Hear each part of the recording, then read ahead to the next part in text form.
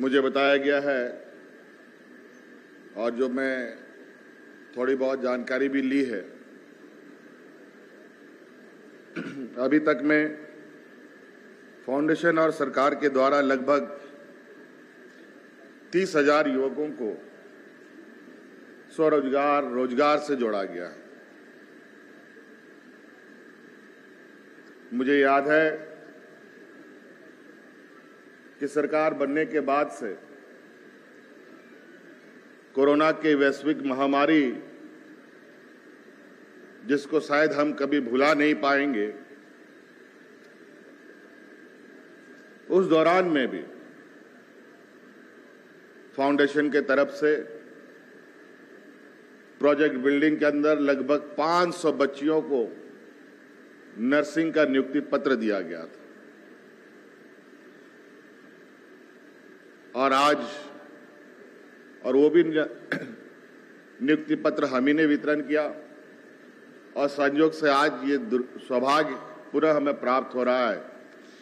उस समय ये कार्यक्रम हमारे प्रोजेक्ट बिल्डिंग में आयोजित था। और आज प्रजा फाउंडेशन के इस प्रांगण में पुनः 500 बच्चों को नर्सिंग में नियुक्ति पत्र वितरण का कार्यक्रम भी आयोजित है।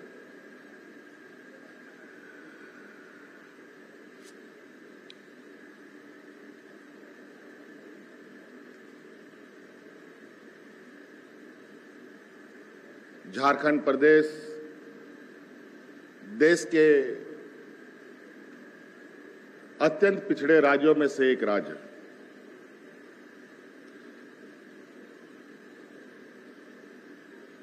और इस राज्य में 80 प्रतिशत लोग ग्रामीण क्षेत्रों में वास करते हैं।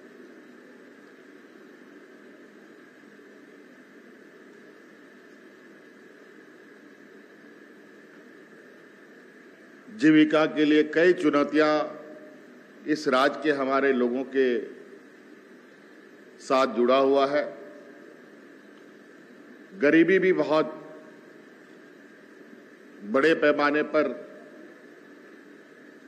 इस राज्य में है।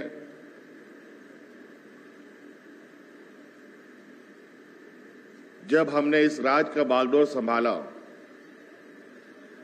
उसी समय से हमारी ये सोच रही है कि इस राज्य के हर एक घर के आर्थिक आमदनी में कैसे बढ़ोतरी हो, इसका रास्ता निकाला जाए। कोरोना के वैश्विक महामारी में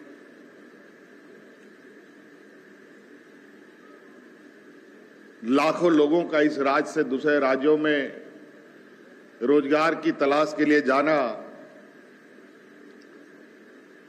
किसी को यह अंदाज़ा भी नहीं था।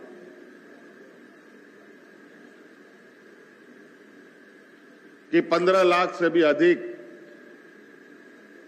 राज्य के लोग बाहर रोज़गार की तलाश में जाते हैं। वैसे अलग अलग राज्यों में जाना मना ही नहीं है।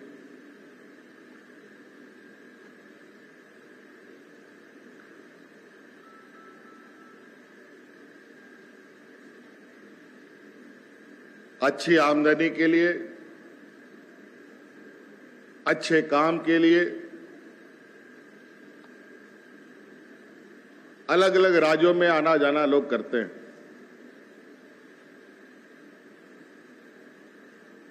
मेरा यह मानना है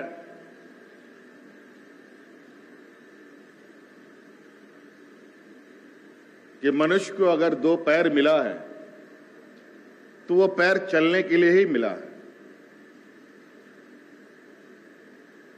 अगर ये पैर चलना बंद हो जाए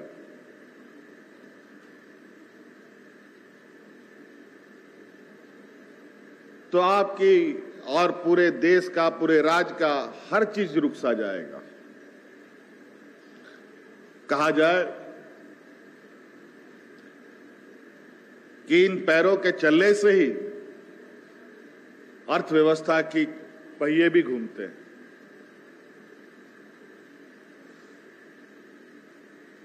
इसीलिए मुझे लगता है कि भगवान ने, ईश्वर ने हमें दो पैर, दो हाथ,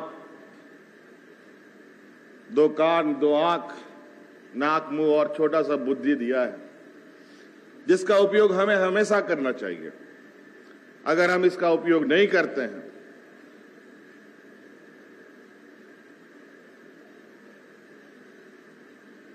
और बेकार बैठे रहते हैं।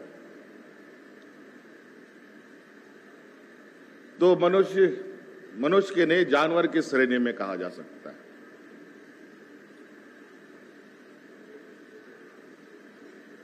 और यही मेरा फोकस रहा है कि ग्रामीण अर्थव्यवस्था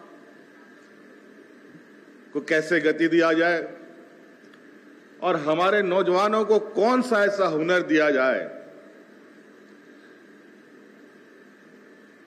जिससे वो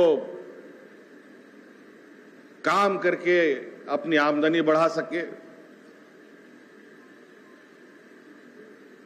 और अपना रोज़गार कर सके। तो हम लोगों ने अलग अलग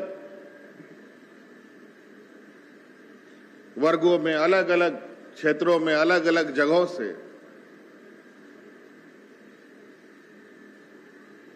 हमारे यहाँ आने वाली पीढ़ी, हमारे नौजवान, हमारे वर्तमान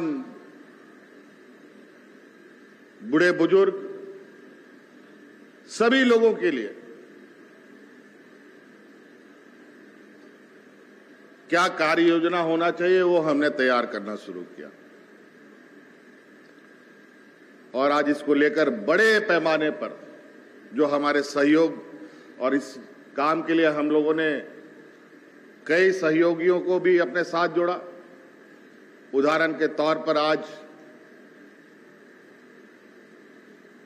प्रजा फाउंडेशन है कि अब ये नर्सिंग का कोर्सेस सिर्फ़ महिला या लड़कियाँ नहीं करेंगी, अब लड़के लोग भी नर्सिंग का कोर्स कर सकते हैं, ये सरकार का सोच है। इसमें कोई बंदिश बंदिश नहीं है। लड़के भी कर सकते हैं।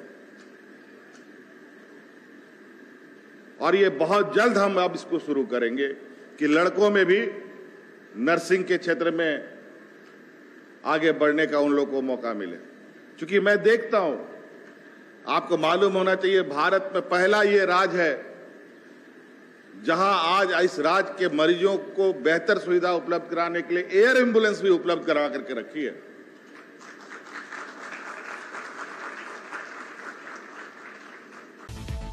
अपने राज्य से जुड़ी हर ताज़ा खबरों के लिए आप हमें सब्सक्राइब करें, साथ ही बेल आइकन बटन दबाना ना भूलें।